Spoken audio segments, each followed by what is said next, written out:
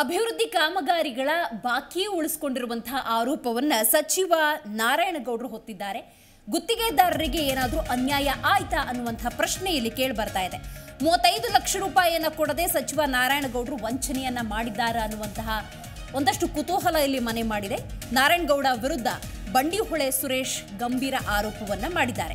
ಬಂಡಿಹೊಳೆ ಸುರೇಶ್ ಒಂದನೇ ದರ್ಜೆ ಕಾಂಟ್ರಾಕ್ಟರ್, ಇವರು ಗಂಭೀರವಾದಂತಹ ಆರೋಪವನ್ನ ಮಾಡಿದ್ದಾರೆ. ಎರಡ್ ಸಾವಿರದ ಹದಿಮೂರರ ಕುಂಭಮೇಳದಲ್ಲಿ ನಡೆದಂತಹ ಅಭಿವೃದ್ಧಿ ಕಾಮಗಾರಿಯ ಹಣವನ್ನ ಬಾಕಿ ಉಳಿಸಿಕೊಂಡಿದ್ದಾರೆ ಅನ್ನುವಂತಹ ಆರೋಪವನ್ನ ಈಗ ಬಂಡಿಹೊಳೆ ಸುರೇಶ್ ಮಾಡ್ತಿರೋದು. ಸೊಳ್ಳೆಪುರ ರಸ್ತೆ ಕಾಮಗಾರಿಯ ಬಾಕಿ ಹಣವನ್ನ ನೀಡಿಲ್ಲ ಅಂತ ತಮ್ಮ ದೂರನ್ನ ಇಲ್ಲಿ ಮಾಡ್ತಾರೆ. ಅಂದು ಶಾಸಕರಾಗಿರ್ತಾರೆ ನಾರಾಯಣಗೌಡ. ಅವರು ಬಾಕಿ ಹಣವನ್ನ ಕೊಟ್ಟಿಲ್ಲ ಅನ್ನುವಂತಹ ಆರೋಪವನ್ನ ಮಾಡ್ತಿದ್ದಾರೆ. ಸಾಲಗಾರರ ಕಾಟ ತಾಳಲಾರದೆ ಸಂಕಷ್ಟಕ್ಕೆ ಆ ಗುತ್ತಿಗೆದಾರ ತಲುಪಿದ್ದಾರೆ ಎನ್ನುವಂತಹ ಮಾಹಿತಿ. ನಾರಾಯಣಗೌಡರ ವಿರುದ್ಧ ಕೋರ್ಟ್ ಮೊರೆ ಹೋಗುವುದಕ್ಕೆ ಈಗ ನಿರ್ಧಾರವನ್ನ ಮಾಡಿದ್ದಾರೆ ಎನ್ನುವಂತಹ ಮತ್ತಷ್ಟು ಇನ್ಫಾರ್ಮೇಶನ್ ಸಿಗ್ತಾ ಇದೆ. ಹಣ, ಹಣವನ್ನ ಬಿಡುಗಡೆ ಮಾಡದೆ ಹೋದ್ರೆ ಆತ್ಮಹತ್ಯೆ ಮಾಡಿಕೊಳ್ಳುವಂತಹ ಎಚ್ಚರಿಕೆಯನ್ನ ನೀಡಿದ್ದಾರೆ ಆ ಗುತ್ತಿಗೆದಾರ ಬಂಡಿಹೊಳೆ ಸುರೇಶ್ ಒಂದನೇ ದರ್ಜೆ ಕಾಂಟ್ರಾಕ್ಟರ್ ಮೂವತ್ತೈದು ಲಕ್ಷ ರೂಪಾಯಿ ಹಣವನ್ನ ನಾರಾಯಣಗೌಡರು ನೀಡಬೇಕು, ಅದನ್ನ ನೀಡಿಲ್ಲ, ಬಾಕಿ ಉಳಿಸ್ಕೊಂಡಿದ್ದಾರೆ, ಒಂದು ಪಕ್ಷ ಕೊಡದೆ ಹೋದ್ರೆ ಆತ್ಮಹತ್ಯೆ ಮಾಡ್ಕೊಳ್ತೀನಿ ಅಂತ ಎಚ್ಚರಿಕೆಯನ್ನ ನೀಡಿದ್ದಾರೆ.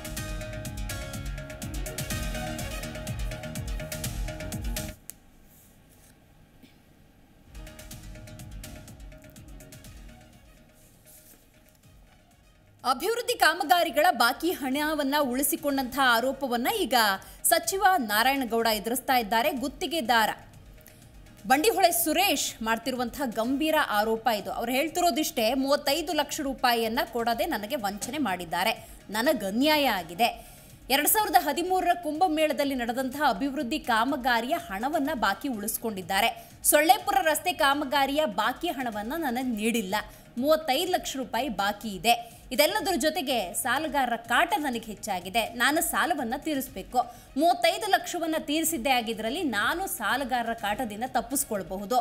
ಇದೆಲ್ಲದರ ಜೊತೆಗೆ ಮತ್ತೊಂದು ವಿಚಾರವನ್ನು ಇಲ್ಲಿ ಅವರು ಹೇಳ್ತಾ ಇದ್ದಾರೆ. ಹಣ ಬಿಡುಗಡೆ ಮಾಡದೆ ಹೋದರೆ ಆತ್ಮಹತ್ಯೆಯನ್ನು ಮಾಡ್ಕೊಳ್ತೀನಿ. ಅನ್ನುವಂತಹ ಮಾತನ್ನು ಈಗ ಬಂಡಿಹೊಳೆ ಸುರೇಶ್ ಹೇಳ್ತಿರೋದು. ನೋಡೋಣ ಹಾಗಾದರೆ. ಏನೆಲ್ಲ ಮಾಹಿತಿ ವಿಚಾರವಾಗಿ ಸಿಗ್ತಾ ಹೋಗುತ್ತೆ ಅಂತ ಹೇಳಿ ನಮ್ಮ ಮಂಡ್ಯ ಪ್ರತಿನಿಧಿ ರಾಘವೇಂದ್ರ ಮಾಹಿತಿಯನ್ನು ನೀಡ್ತಾರೆ. ರಾಘವೇಂದ್ರ ಬಂಡಿಹೊಳೆ ಸುರೇಶ್ ಹೇಳೋದೇನೋ, ಇದಕ್ಕೇನಾದರೂ ಪ್ರತಿಕ್ರಿಯೆ ನಾರಾಯಣಗೌಡರ ಕಡೆಯಿಂದ ಬಂದಿದೆಯಾ?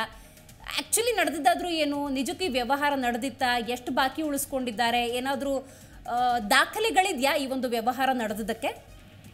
ಎಸ್ ಡಿ ಜಿ ನಿಜಕ್ಕೂ ಕೂಡ ಏನು ಬಂಡಿವಳಿ ಸಮುದ್ರದ ಗುತ್ತಿಗೆ ಗುತ್ತಿಗೆದಾರರು ಈಗ ಸಚಿವರಾಗಿರುವಂತಹ ನಾರಾಯಣಗೌಡರ ವಿರುದ್ಧ ಒಂದು ಗಂಭೀರ ಆರೋಪವನ್ನ ಮಾಡಿದ್ದಾರೆ. ಏನು ರಸ್ತೆ ಕಾಮಗಾರಿಗೆ ಸಂಬಂಧಪಟ್ಟಂತೆ ಸಚಿವರು ಮೂವತ್ತೈದು ಲಕ್ಷ ರು ಹಣವನ್ನ ನನಗೆ ಕೊಡದೆ ಈಗ ಬಾಕಿ ಉಳಿಸ್ಕೊಂಡಿದ್ದಾರೆ ಅಂತ ಆರೋಪ ಮಾಡ್ತಿರುವಂತದ್ದು ಅದರಲ್ಲೂ ಕೂಡ ಎರಡ್ ಸಾವಿರದ ಹದಿಮೂರರಲ್ಲಿ ಏನು ಜೆಡಿಎಸ್ ಶಾಸಕರಾಗಿದ್ದಂತ ನಾರಾಯಣಗೌಡರು ಕುಂಭಮೇಳ ನಡೆಯುತ್ತಿರುತ್ತೆ ಆ ಸಂದರ್ಭದಲ್ಲಿ ಬಂಡಿಹೊಳೆ ಸೇರಿದಂತೆ ಕಿಕ್ಕೇರಿಗೆ ಒಂದು ರಸ್ತೆಯನ್ನು ಮಾಡ್ತಿರ್ತಾರೆ. ಇದಕ್ಕೆ ಸಂಬಂಧಪಟ್ಟಂತೆ ಅವತ್ತು ಕಾಮಗಾರಿಯನ್ನ ಮಾಡ್ತಿದ್ರು ಕೂಡ ಸುಮಾರು ಮೂವತ್ತೈದು ಲಕ್ಷ ಹಣವನ್ನು ಅಂತ ಹೇಳಿ ಈಗ ಈ ಪ್ರಥಮ ದರ್ಜೆ ಗುತ್ತಿಗೆದಾರ ಈಗ ಆರೋಪವನ್ನು ಮಾಡ್ತಾ ಇರೋದು. ಏನೀಗ ಆ ದಿನ ಎರಡ್ ಸಾವಿರದ ಹದಿಮೂರರಲ್ಲಿ ನಾನು ಮೂವತ್ತೈದು ಲಕ್ಷ ಸಾಲವನ್ನು ಸಾಲವಾಗಿ ಕೊಡಬೇಕಿತ್ತು ಅಂದ್ರೆ ನನ್ನ ಹಣವನ್ನು ಬಿಡುಗಡೆ ಮಾಡ್ಬೇಕಿತ್ತು. ಅದನ್ನ ಬಿಡುಗಡೆ ಮಾಡಿಲ್ಲ. ಹಾಗಾಗಿ ಕೂಡ ನನಗೆ ಈಗ ಸಾಲಗಾರರ ಕಾಟ ಜಾಸ್ತಿ ಆಗಿದೆ ನನಗೆ ಈಗ ಸಾ- ಎಲ್ಲರೂ ಕೂಡ ಸಾಲಗಾರರು ನನ್ನ ಬಂದು ಮಾತಾಡ್ಕೊಂಡ ಪರಿಸ್ಥಿತಿ ಆಗಿ ನನಗೆ ಇದರಿಂದಾಗಿ ಮಾನಸಿಕವಾಗಿ ನಾನು ಬೇಸತ್ತಿದ್ದೀನಿ. ಸಾಕಷ್ಟು ಬಾರಿ ಇದನ್ನ ಹಣವನ್ನ ಬಿಡುಗಡೆ ಮಾಡ್ಕೊಡ್ಬೇಕು ಅಂತ ಹೇಳಿ ಸಚಿವರ ಹತ್ರ ಮನವಿ ಮಾಡಿದ್ದೀನಿ. ಆದ್ರೆ ಯಾವುದೇ ರೀತಿ ಕೂಡ ಅವರು ಪ್ರತಿಕ್ರಿಯೆಯನ್ನು ಕೊಡ್ತಾ ಇಲ್ಲ ಅಂತ ಹೇಳಿ ಆರೋಪ ಮಾಡ್ತಿದ್ದಾರೆ. ಜೊತೆಗೆ ಇನ್ನೊಂದು ಆರೋಪವನ್ನು ಮಾಡುವ ಮೂಲಕ ಏನು ತನಗೆ ಈಗ ಉಳಿಸಿಕೊಳ್ಳುವ ಬಾಕಿ ಹಣವನ್ನು ಅವರು ಕೊಡದೇ ಇದ್ದ ಸಂದರ್ಭದಲ್ಲಿ ನಾನು ನಿಜಕ್ಕೂ ಕೂಡ ಆತ್ಮಹತ್ಯೆ ಆಗಲೇ ಹಿಡಿತೀನಿ ಅಂತ ಹೇಳ್ತಿದ್ದಾರೆ. ಯಾಕೆಂದ್ರೆ ಮೊದಲೇ ಕೂಡ ಸಾಲಗಾರರಿಂದ ಸಾಕಷ್ಟು ಬೇಸತ್ತು ಹೋಗಿದ್ದೀನಿ. ಈ ಹಣ ಕೊಟ್ಟರೆ ನಾನು ಸಾಲ ಮಗ, ಸಾಲ ಮುಕ್ತಿ ಆಗ್ತೀನಿ. ಆದ್ರೆ ಈ ಹಣವನ್ನು ಕೊಡ್ತಾರೆ ಇದರಿಂದ ನಾನು ಆತ್ಮಹತ್ಯೆ ಮಾಡ್ಕೊಳ್ಳೋದ್ರಿಂದ ಈಗ ನನಗೆ ಉಳಿದಿರೋ ಒಂದು ದಾರಿ ಅಂತ ಹೇಳ್ತಾ ಇದ್ದಾರೆ. ಯಾರೇ ಕೂಡ ಈ ಸಂಬಂಧವಾಗಿ ಅವರು ಕೋರ್ಟ್, ಇವರು ಕೂಡ ಸರಿಯಾಗಿ ನ್ಯಾಯ ಸಿಕ್ಕಿಲ್ಲ ಅನ್ನೋದು ಅವರು ಏನು ಗುತ್ತಿಗೆದಾರರ ಆರೋಪ ಆಗಿರೋದು. ಹೀಗಾಗಿ ಕೂಡ ಈಗ ಅವರು ಏನು ಮಂಡ್ಯದಲ್ಲಿ ಈಗ ಸುದ್ದಿಗೋಷ್ಠಿ ನಡೆಸಿ ತನಗೆ ಬರಬೇಕಾದ ಬಾಕಿಯವನ್ನು ಕೊಡಿಸ್ಕೊಡಿ ಅಂತ ಹೇಳಿ ಮಾಧ್ಯಮದವರು ಮೊರೆ ಹೋಗಿದ್ದಾರೆ.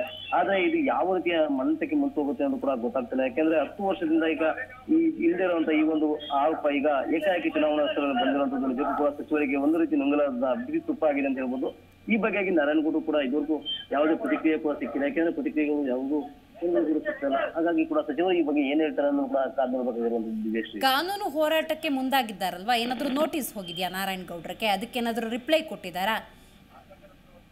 ಸದ್ಯಕ್ಕೆ ಈಗ ಆರೋಪ ಮಾಡುವಂತ ಏನು ಆ, ಗುತ್ತಿಗೆದಾರರು ಅವರು ನಾನು ಕಾನೂನು ಹೋರಾಟವನ್ನು ಮಾಡ್ತಿದ್ದೀನಿ ಆದರೆ ಕಾನೂನು ಹೋರಾಟದಿಂದ ಸ್ವಲ್ಪ ಹತ್ತು ವರ್ಷದಿಂದಲೂ ಕೂಡ ಇದು ಮುಂದಕ್ಕೆ ಹೋಗ್ತಾನೆ ಇದೆ. ನಾನು ಹತ್ತು ವರ್ಷಗಳಿಂದಲೂ ಕೂಡ ಈಗ ಏನು ಆ ಒಂದು ಹಣಕ್ಕಾಗಿ ಸಾಕಷ್ಟು ಪ್ರಯತ್ನ ಪಟ್ಟಿದ್ದೀನಿ. ಆದ್ರೆ ಇವರಿಗೂ ಕೂಡ ಅಲ್ಲಿಂದಲೂ ಕೂಡ ನ್ಯಾಯ ಸಿಗ್ತಿಲ್ಲ ಈ ಕಾನೂನು ಹೋರಾಟವನ್ನು ಕೂಡ ನಾನು ನಂಬಿಕೊಂಡು ಕೂಡ ಆಗ್ತಿಲ್ಲ ಯಾಕೆಂದ್ರೆ ನಾನು ಮೂವತ್ತೈದು ಲಕ್ಷ ಇದ್ರೆ ನಾನು ಈಗ ಸಾಲಗಾರನಾಗಿದ್ದೇನೆ. ಆ ಸಾಲವನ್ನು ತೀರಿಸಿಕೊಂಡು ಆದ್ರೆ ಈಗ ಆ ಒಂದು ಮೂವತ್ತೈದು ಲಕ್ಷ ಬರದೇ ಇರೋ ಕಾರಣದಿಂದ ನನಗೆ ಸಾಕಷ್ಟು ಅನಾನುಕೂಲ ಆಗಿದೆ. ಇದನ್ನ ಕೊಟ್ಟರೆ ನಾನು ಈಗ ಏನು ನನಗೆ ಸಾಲಗಾರ ಸಿಗ್ತಾ ಇದೆ ಮುಕ್ತಿ ಹೊಂದ್ತೀನಿ ಅಂತೇಳಿ ಆರೋಪ ಆಗಿದೆ. ಜೊತೆಗೆ ಈಗ ಏನು ನನಗೆ ಕೊಡಬೇಕಾಗಿರುವಂತ ಬಾಕಿ ಎಲ್ಲ ಇರೋದು ಎರಡ್ ಸಾವಿರದ ಹದಿಮೂರು ಹಾಗಾಗಿ ಅದನ್ನ ಆ ಒಂದು ಕಾಲದಲ್ಲಿ ಯಾರು ಆ, ಇಲಾಖೆ ಮಂತ್ರಿ ಆಗಿದೆ ಅವ್ರಿಗೂ ಸಾಕಷ್ಟು ಹೋಗಿದ್ದೀನಿ. ಆದ್ರೆ ಇದನ್ನ ಮಾಡಿಸ್ಕೊಂಡವರಂತೂ ಶಾಸಕರಾಗಿದ್ದ ನಾರಾಯಣ ಗೌಡರು ಈಗ ಸಚಿವರಾಗಿದ್ದಾರೆ. ಅವರೇ ಇದನ್ನ ಮಾಡಿಸ್ಕೊಡ್ಬೇಕು. ಈಗ ಈ ವೇಳೆ ಒಂದು ಈ ಹಣ ಈ ಹಣವನ್ನು ನನಗೆ ಏನಾದ್ರು ಕೊಡ್ತಿಲ್ಲ ಅನ್ನೋ ಸಂದರ್ಭದಲ್ಲಿ ನಾನೀಗ ರಾಘವೇಂದ್ರ ಎರಡ್ ಸಾವಿರದ ಹದಿಮೂರಲ್ಲಾಗಿರೋದು ಕಾರ್ಯಕ್ರಮ, ಅಭಿವೃದ್ಧಿ ಕಾಮಗಾರಿಗೆ ಎರಡ್ ಸಾವಿರದ ಇಪ್ಪತ್ತ್ಮೂರು ಹತ್ತು ವರ್ಷಗಳಿಂದ ಹಣವನ್ನ ವಸೂಲಿ ಮಾಡುವಂತಹ ಅಥವಾ ಹಣವನ್ನು ವಾಪಸ್ ತೆಗೆದುಕೊಳ್ಳುವಂತಹ ಗೋಜಿಗೆ ಹೋಗಿಲ್ವಾ ಅಥವಾ ಪ್ರಯತ್ನ ಪಟ್ಟು ಪಟ್ಟು ಸೋತ್ ಹೋಗಿದ್ದಾರಾ ಬಂಡಿಹೊಳೆ ಸುರೇಶ್? ಏನಿದೆ ಮಾಹಿತಿ ಆ ಬಗ್ಗೆ?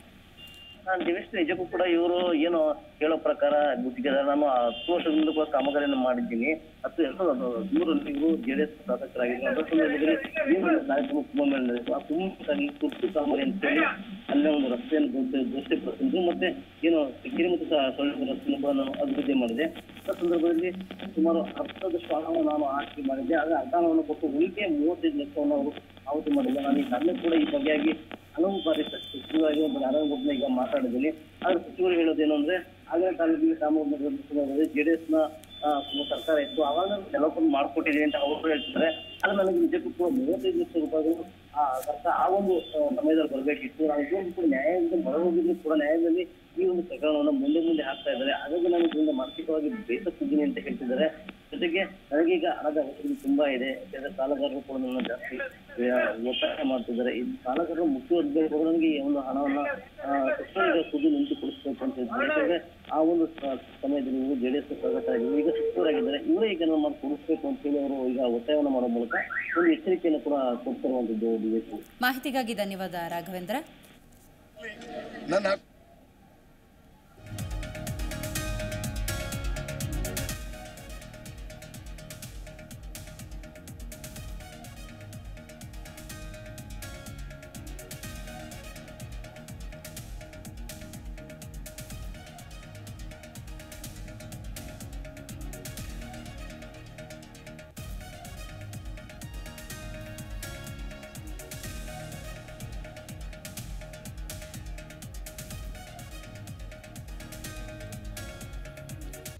ಪ್ರತಿಕ್ಷಣದ ಸುದ್ದಿಗಾಗಿ Zee Kannada news app download ಮಾಡಿ. Live TV latest updates entertainment lifestyle technology ಸುದ್ದಿ ನಿಮ್ಮ ಅಂಗೈಯಲ್ಲಿ.